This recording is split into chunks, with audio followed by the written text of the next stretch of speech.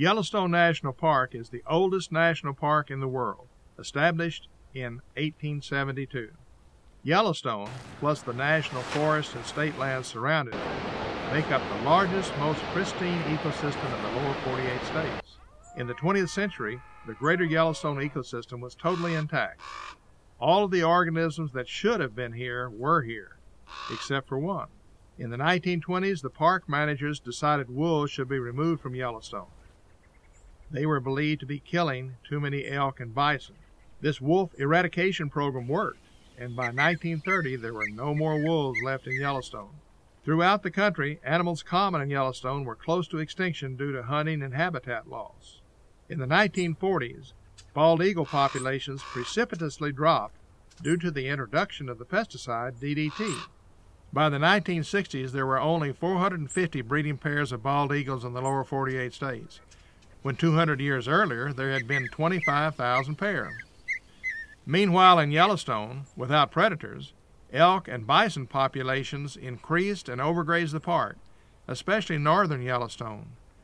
Willow and aspen trees became rare. Overgrazing is most evident when comparing vegetation in fenced enclosures to the surrounding vegetation.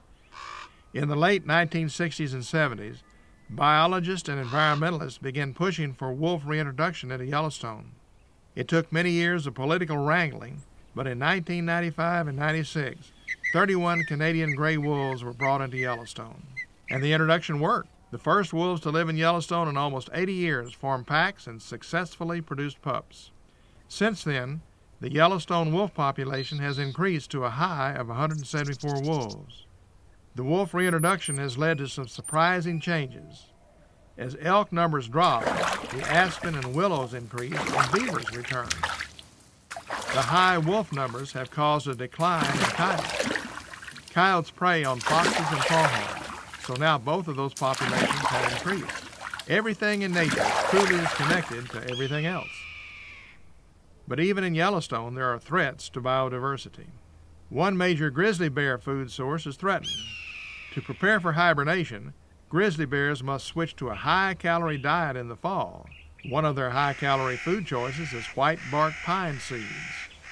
But white bark pine is declining in Yellowstone due to an introduced fungal disease and pine bark beetles. Beetle populations have increased in recent years due to global warming. Grizzly bear populations appear stable in Yellowstone, However, their numbers in surrounding areas are declining as humans encroach on their territory. The only way to maintain biodiversity is to preserve habitat for animals and the plants they depend upon.